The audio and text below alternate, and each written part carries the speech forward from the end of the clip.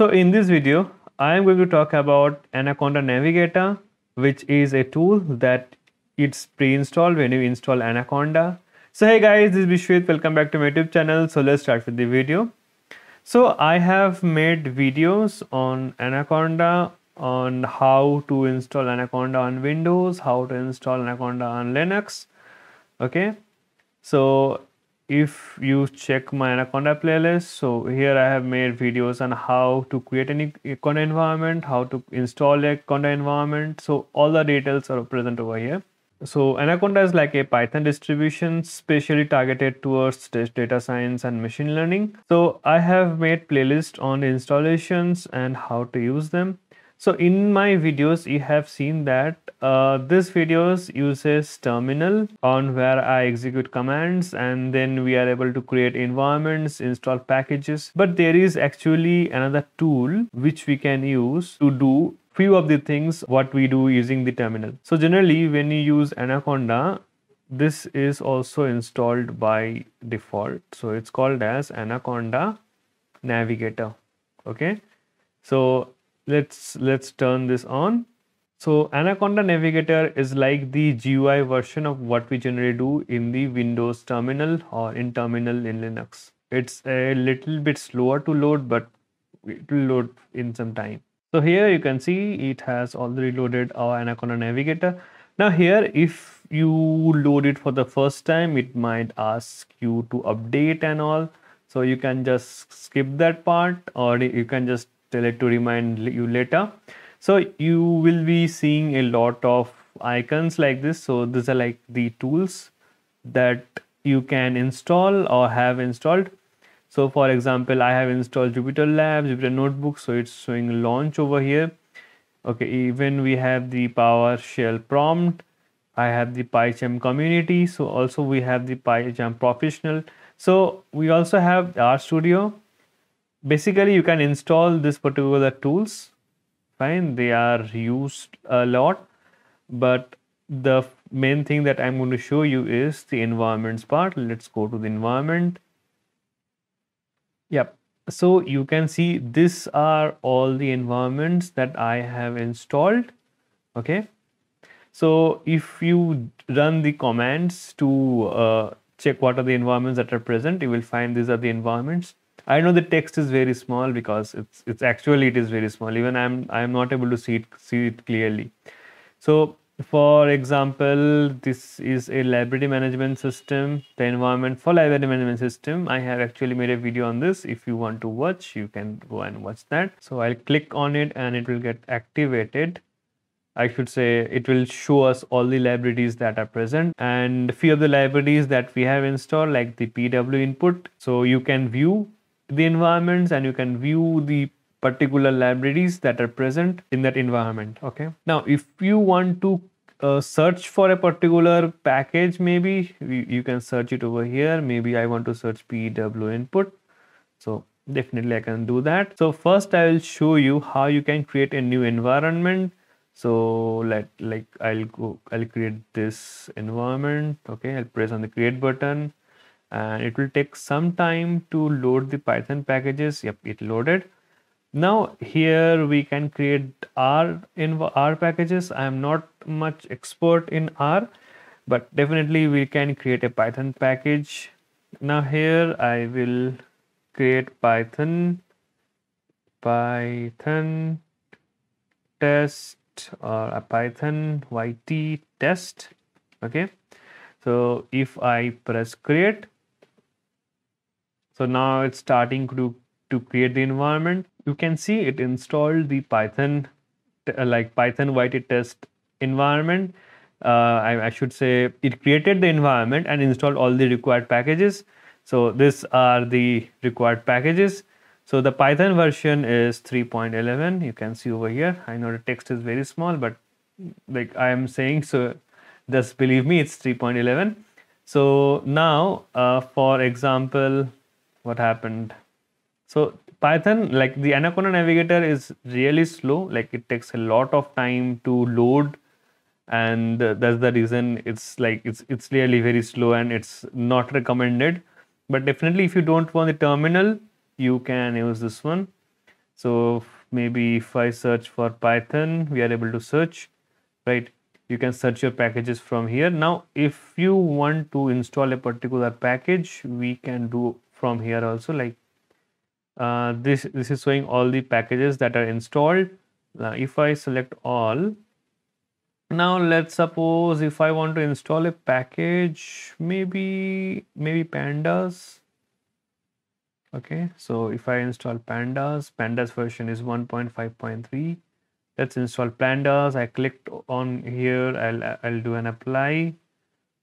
Okay so it will prompt us once and it might prompt us twice because of the dependencies. So okay it is prompting us once and it is pulling out all the dependencies that is required for pandas to work.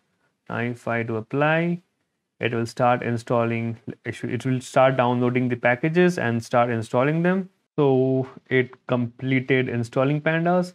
Now if i just check installed you can see okay i'll remove the pandas over here. So you can see it installed pandas yep it installed pandas over here 1.5.3 okay. So you can install any packages from here also. So just go just uh, select this and go to all and just search for the package that you want to install and it will be installed. Hopefully all the packages that you want to search should be present over here okay if not then obviously you have to use the pip but hopefully everything should be present over here now, definitely there are other options called as clone. So you can clone an environment. Let's clone it. Okay. So for example, if I have worked on a particular environment and I have used few of the libraries that I again want to use for a different project, I can clone them. So let's clone it. So it will ask for a new environment name. I will tell Python YT test clone. Fine. So let's tally whether it is able to install all the packages that are present from where we are cloning or not. So now if I check, if I go to Python YT test, so we can see there are like including pandas, if I consider pandas and other few packages. So you can see there are 34 packages present over here. This 34 is very small, but it is showing 34 and if I go to Python YT test clone, here also it is showing 34 packages available. So it was successfully able to clone the Python YT test into Python YT test clone. So we were able to clone a, Python, a Conda environment successfully. So likewise, we have import, we have backup, we have remove. So uh, do I need to demonstrate? Maybe let's demonstrate one process. So let me back up the Python YT test clone. Okay. So if I do backup, probably it's going to take forever to back it up. So I don't know where it is backing up. Maybe I will just do backup. Okay it's asking me a path. I will paste them on this desktop. And okay it's it's showing YAML file. Okay. Let's do Python conda backup if I do save okay that was very fast. So if I just check the YAML file that got generated I just wanted to see what it contains. If I open that with sublime text okay so it contains the environment name the channels and the particular dependencies that are present okay so it has all of the file versions and the channels that are available. So it has the complete metadata. So fine that's the reason it was able to back it up actually. So it it contains the metadata. This contains the metadata not actual files that have been installed. So now if i want to maybe if i backed if i have backed it up so i can import that back. So let me import that back again.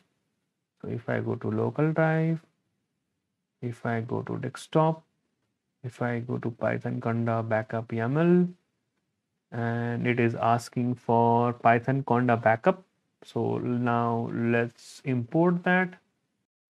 Okay so it was able to install all the packages from the backup. So like i just uh, imported them and i am able to see 34 packages available so it looks like it is a successful. So we have created mini environment for the demonstration purpose and okay by mistake i clicked somewhere and it is showing like it's again loading. So just just to be on a safer side i'll just open my windows terminal. Okay and i'll just verify what are the environments that got created and whether it is actually showing up over here or not. So i'll do conda env list. Yep Conda, python conda backup uh, yt test yt test clone. So yep.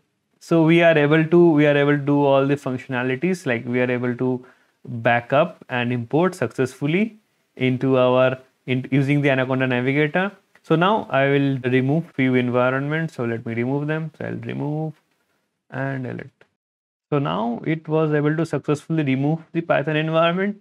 It took almost like a like two minutes to do that. So as i said previously stating multiple times this is pretty slow. So just be ready that this is going to be really really slow but for the people who don't want to use a terminal this is the like one of the other ways. You can configure you can create your environment you can clone them import them backup remove okay? And there are few other options like channels and uh, we have the update index. I am i have not used these two options like much but hopefully if you want you can take a look. But apart from that so you can use anaconda navigator if you don't want to use the terminal conda like the terminal version of conda. So i hope this video was helpful. If it was do press that like button. Thank you for watching. I am going to see you in an awesome upcoming programming video